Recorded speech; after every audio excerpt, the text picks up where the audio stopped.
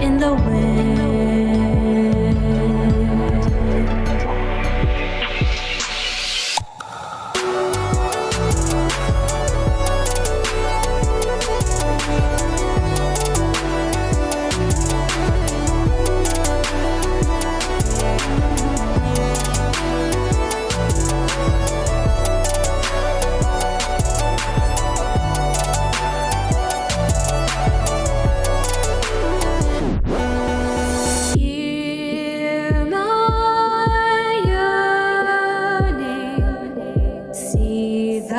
a crimson flame.